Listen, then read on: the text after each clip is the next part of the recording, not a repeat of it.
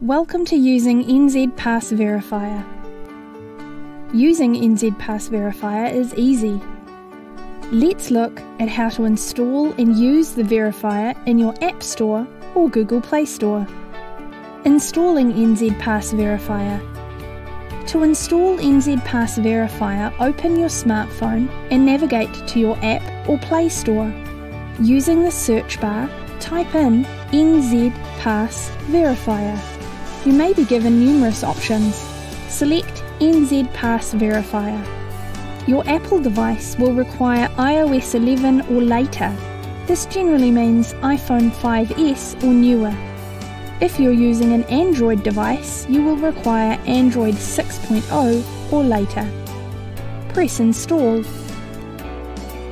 Setting up NZ Pass Verifier. Once you've installed NZ Pass Verifier, open it you'll be asked to read through the terms and conditions of using the app. This won't take long. Press I agree when you have read through. Press Scan when you are ready to begin. The verifier will ask to access your camera. If you are given the option No Access to Camera, Select Go to Settings to allow permission for this feature.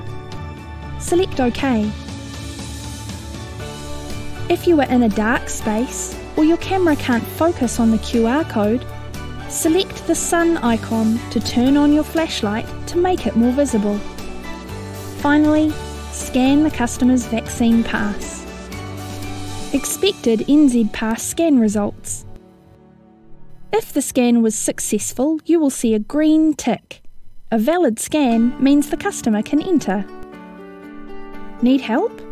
If you are having problems getting NZ Pass Verifier installed or working on your smartphone, please call our friendly team on 0800 800 606 or email verifiertechhelp at mycovidrecord.min.health.nz. Thank you.